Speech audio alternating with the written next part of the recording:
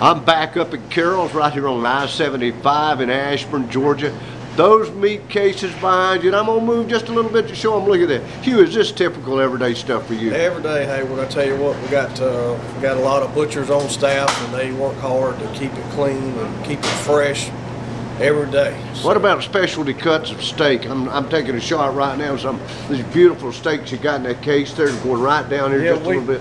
We custom cut all of our steaks and loins right here in our stores. Um, any thickness you want. If you have a, you know, if you have an, a steak certain thickness that you want, just let us know. We'll be glad to cut it, wrap it for you any way you want it. We also do a marinated steaks, which are really good. We put our, we have our own uh, blend of marinades that we use, and we we package them up.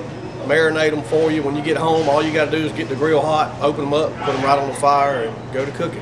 Pop 'em They're on the grill. Yeah. Hugh, I, I think you have more meat cases and more meat on display than any other store in this area. Am I right? That's, we've got over uh, 50 foot of fresh meat case and sausage counters, and we also have uh, about 12 foot of a smoked meat and chicken case. So we've got a full full line of just about any kind of meat that you want. Just come shop, folks. Now, what about folks that want a meal at lunch? What can you do for them? We, we have uh, we have a restaurant and a deli right here in our new location in Ashburn, and uh, we're open we open at seven every morning. We have breakfast ready at seven o'clock, and we serve breakfast until around eleven.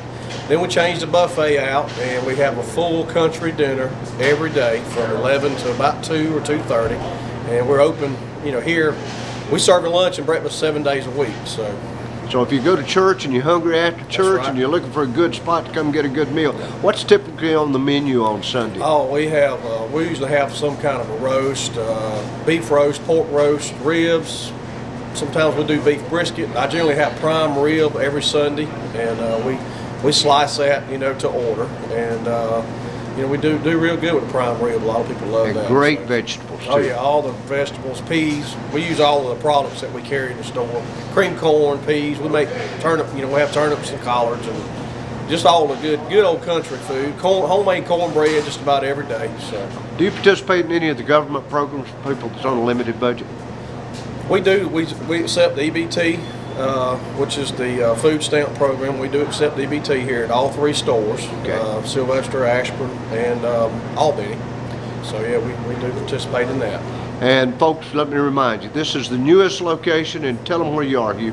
We're located right here on I-75 and exit 82 between the Big Peanut and the Big American Flag. You can't miss it, right on the interstate. Good to see you, buddy. And I appreciate it. Hey, would y'all come see us?